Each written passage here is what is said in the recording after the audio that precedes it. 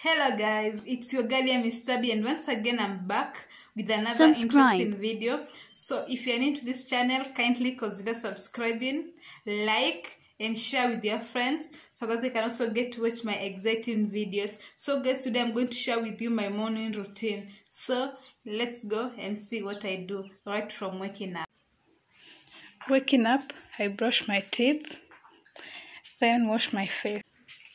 I feed the chicken with grains, that is maize grain.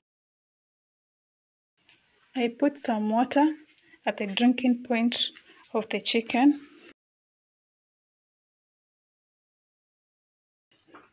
I now get my traditional broom and sweep the compound.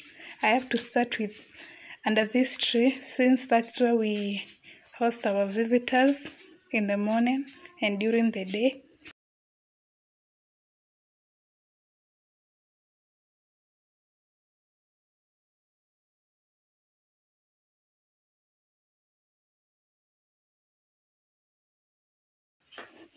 I now collect the litter and pour it at the dustbin.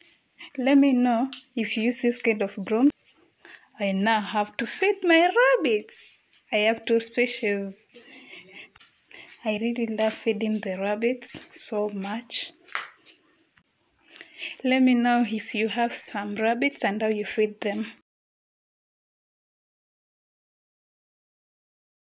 After feeding my rubs, I have to take my breakfast. That is tea and yesterday night's ugali.